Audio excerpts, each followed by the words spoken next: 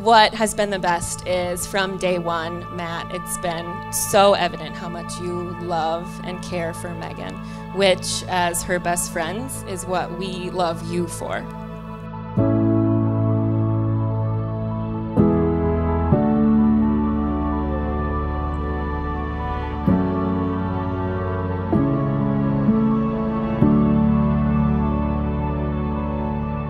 I have a sister now, and it's weird, but I absolutely love it. Um, I- you know, I never had a sister growing up, and I I just, it's amazing to say that. And I just want to say, welcome to our family. And uh, of course, as, as you know, with all of our family, we will treat you like you've always been here. So, welcome to our family.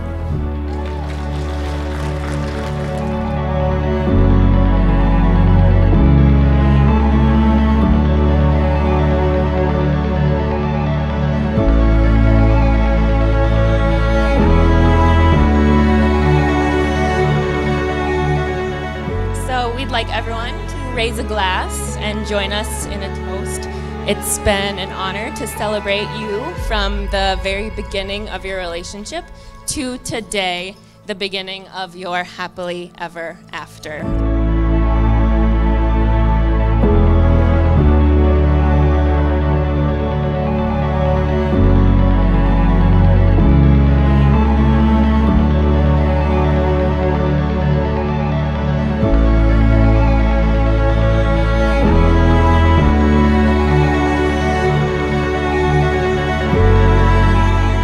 I, Matthew, take you, Megan, to be my wife. I promise to be true to you in good times and in bad, In sickness and in in sickness and health. I will love you and honor you I will love you and honor you all the days of my life. all the days of my life. I, Megan, take you, Matthew, to be my husband. I promise to be true to you I promise to be true to you in good times in good times and in life, and in bad, in sickness and in health. I will love you and honor you all the days of my life. all the days of my life.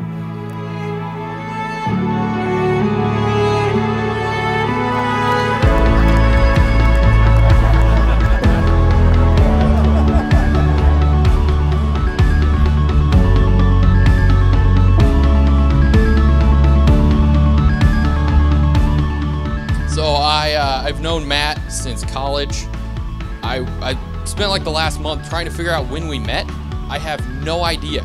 Uh, all I know is we got along instant, and uh, we spent a lot of late nights uh, studying. And uh, then he talks about this girl, which like okay, whatever. And then I saw her, and I thought he got a pay raise or something because it's like, whoa.